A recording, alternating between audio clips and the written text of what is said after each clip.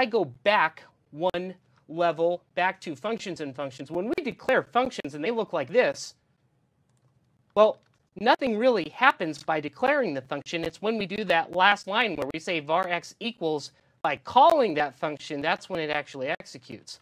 What we're saying with immediate functions is that they're going to execute immediately, as the name implies. So uh, you need to be careful here with the use of immediate functions because they are going to execute right away. And if you put them in the wrong place or use them unwisely, there might not be resources available to you yet as you're actually executing them. So use them carefully. Uh, but the advantage that they bring is that you can create a whole bunch of content in them that will be hidden from view. So they're not going to be shown anywhere. One example that's very popular on the web right now is something called the module pattern, which makes use of these immediate functions. So to put it into perspective, var mod, which is the name of uh, mod is the name of our variable, is equal to the result of calling an immediate function. That means that the variables that were declared in there, such as m, c, d, and y, they are not in the outer or global scope of the JavaScript uh, working space whatsoever. Because this function is returning a value, it returns an object, and inside that object, it has a method in it called getHiddenYear. So down below, when I look at var x equals, you know, mod getHiddenYear, this whole line here, which is really cool to, to talk about, this whole thing is possible uh, to call that get hidden year, even though it was inside of that function because it's being returned as a method of an object coming out. I can't say mod dot uh, uh, m mod dot c. That's not going to work because those were declared inside. But I do have that ability to go in there and call that, that method, which will return the correct result. So this is an opportunity for developers to explicitly create what they want exposed outside of that immediate function and yet keeping everything else hidden away. And you'll notice that uh, we're also making use of, and I don't know if we've explicitly mentioned them yet, but I'll just uh, show it right here, that this would be known as an anonymous function because we didn't provide it a name. So, but it does have a name as a method, get hidden year, which gets exposed to the outside. So uh, pretty simple in terms of uh, implementation, but be careful with the conceptual use or the architectural use of these and make sure it aligns well with uh, whatever it is your, your architectural strategy is for your code.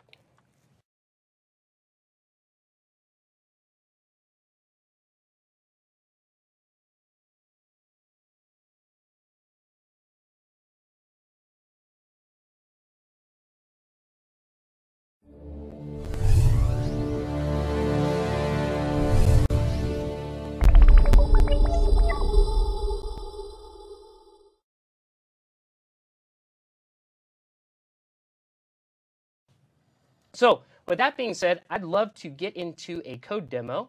And I'm going to uh, jump into Visual Studio.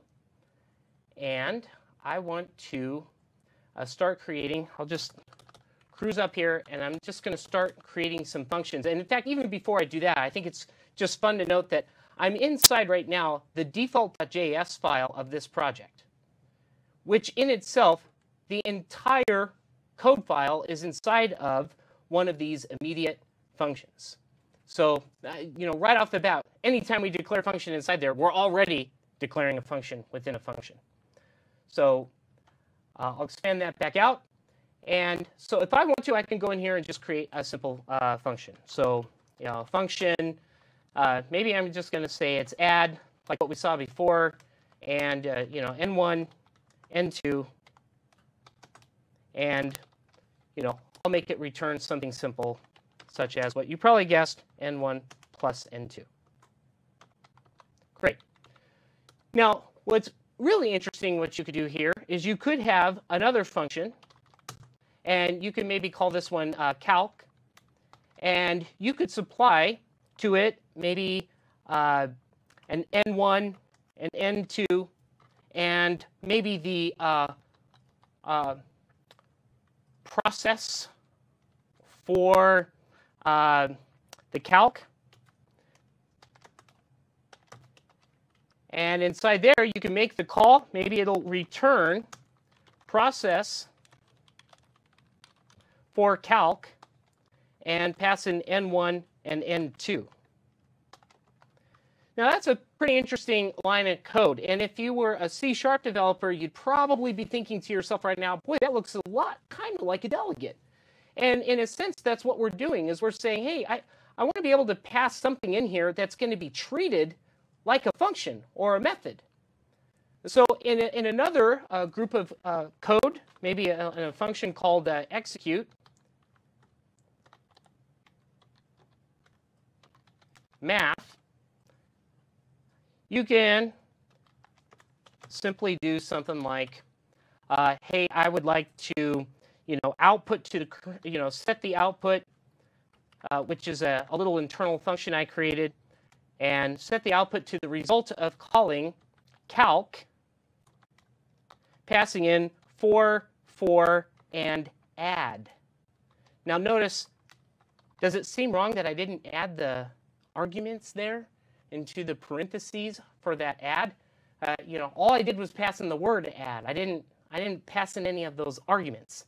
And uh, so I don't know. That, does that feel wrong to you or, or look wrong to you? It doesn't look usual. Usually when you're talking about a function, you can identify it by the parentheses afterwards. And when they're empty, I like to call that a football.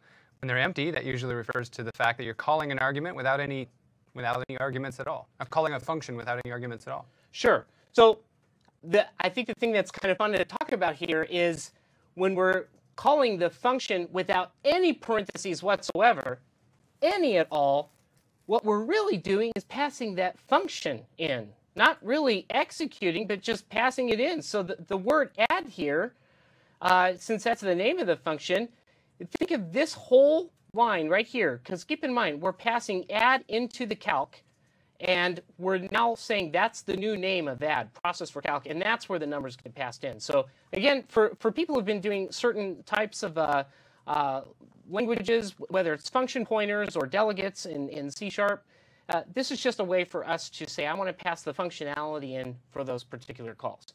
So a uh, little syntax there, uh, hopefully to, to help the developer community out there see some of the, you know, the powerful features there of JavaScript. I, I'm going to collapse that whole line again just because I want to emphasize in many cases when you're going to be doing development with Windows 8, uh, and especially when we start to see tomorrow, you know, the introduction of, of other pages, uh, that you're going to introduce. Right now, we've kind of, uh, even though uh, CodeShow has multiple pages, we kind of just kind of zoomed right in and went to the tile for it. But in, in your uh, in your applications, you're going to have multiple pages that you're probably going to navigate to and from. Each one of them will more than likely have their own JavaScript file, and they're typically going to be found in one of these immediate functions where you declare uh, certain things to happen. And then, of course, later on, you'll see that functions have a very strong role as well in event handling.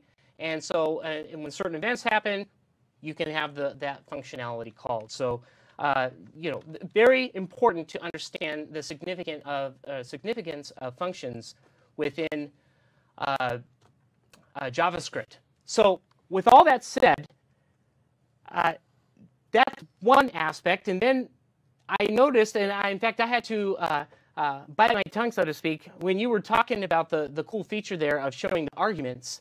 I noticed that arguments was actually kind of related to a certain type that we're going to be getting into here. So uh, maybe since that was your demo, maybe you could chat about where I'm alluding to. Well, just exactly what type are you talking about? Uh, well, it was a list of things. So I'll give you a hint. Okay. I'll just go ahead and name it. We're going to be talking about the arrays. Arrays are really important. They, you know, they've kind of always been important. It's a list of things. Of course, they've always been important, but it seems like when we're working on the client here, um, we're, we're doing a lot of array work. We're doing lots of list work. And arrays have been a little bit abstract, a little bit um, difficult to work with in JavaScript in the past. And uh, so it's made it a very manual process. And honestly, the way I usually worked with arrays is I usually just worked with a, a, a more powerful, more robust server-side function and passed down the elements that I wanted to render, but, but handled all of my lists of things on the server side. Well, arrays have really gotten an upgrade. They've really evolved in the latest version of ECMAScript. And so we're going to look at some of these new features of arrays. Arrays are no more than just a list of objects. That's it. Just a list of strings, a list of integers, a list of objects, could even be a list of functions.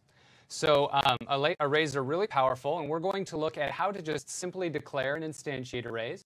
And then we're going to look at a whole bunch of array functions. These are functions that you can hang right off of an array and make it act a lot like LINQ in C Sharp. So if you've, used, if you've used LINQ in C Sharp, you're going to see a lot. As a matter of fact, for each of these functions, there's an equivalent in C Sharp, and I'll draw those out so that if you are familiar with that language, uh, then you'll be able to um, understand that. So I am working in um, just my sandbox app again. So this is not available on CodeShow, but this is just some dynamic JavaScript that we're going to be writing. Now I showed you before how I can make a variable, give it a name, and set it equal to a value, right? That's a value, that's a scalar value we would say because it's not multiple values, it's just one. But if I want to do multiple values, I simply use square braces. Square braces is the signature for an array. Okay? I've just created an empty array, and I actually haven't told JavaScript how many things are going to end up being in that array, and it's okay with that. The hmm. performance might not be as good. In some, some cases, if you know exactly how many spots you want to reserve, it's better for you to tell it how many spots you want to reserve. But it's okay like this. So let's make this meaningful. Let's actually declare um, an array called fruit. And in our square braces, let's give it some actual fruit. So we'll do an apple, a comma, an orange, comma, and a banana. So there we've, we've just declared an array and put three things in that array right out of the get-go, okay? Now, one of the cool things about arrays is that if I send, for instance, my fruit object to my log event, which is this little event down here that I made, um, it's able to take that fruit object and output it because by default it's going to call toString on that array and the toString is going to turn an array, which is an actual list of things, into a string representation of that array with commas separating each of the values inside. So I'll go ahead and log out my fruit. We'll see what that looks like. Bada boom. We've got apple, orange, banana in what looks like a list with commas in between. It's actually just one big string that was converted from my actual array. Cool. Not rocket science. Very helpful. Very helpful to be working with these objects. Now, if I want to um, sort the fruit, so right now it's not in alphabetical order, is it? True. Apple, orange, banana. It's not alphabetical. I could call sort just like that. That's cool. Let's try it. Now it's apple, banana, orange. So it sorted it for us. That's helpful. And there's a lot of these functions. So I've got a big list on the slide here of uh, at least most of the functions that are available to you. Um, in the Code Show project, you'll notice that there's a file in there called ocho.js, and a couple of array functions that I find particularly helpful I, I put into ocho.js, so you can grab those if you'd like to and, and reap the benefits. But we'll look at some of these. Let's go ahead and push a new value onto this array. So there's fruit. Before we actually show it in a sorted fashion, let's push another fruit. Can you tell me a fruit that begins with A? Oh, thanks. or how about B, C, or D? Any any early? I, I, my mind just drew a blank, but I, am going to go with uh, let's say uh, a pear. Uh, well, that's kind of up there, though, isn't that? That's, it's fine. It's fine. And we've already got an we apple. Got an is apple. the problem. Our, yeah. our tech guys recommended something we already have. Yeah, it's okay. We'll, we'll live. Let's let's try pear. I'm now pushing the pear value onto my array.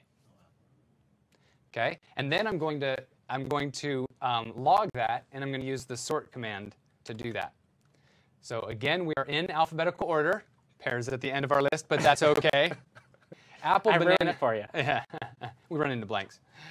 Apple, banana, orange, pear. And then there's pop. Now pop knows to take its value off the end of the stack and doesn't need a value. So I'm going to push a certain value, but then I'm going to pop whatever is on the end of the stack. If you're not familiar with push and pop, this is a, stack data structure where it's kind of like the, uh, you know when you go to those, those all-you-can-eat buffets and they, they have a stack of plates and you know that the plate on the bottom has not been used in three years because by the time, before they get to the bottom, they always bring in some clean plates and put them on the top. So first in, ah. first out. It's a data structure. That's what push and pop enables you to do. Who knew? Let's go ahead and run this. We put pear on, but we also took pear off. It's now gone. Yep. Push and pop, all right? Let's look at concat, and we're also going to look at slice and splice. So concat allows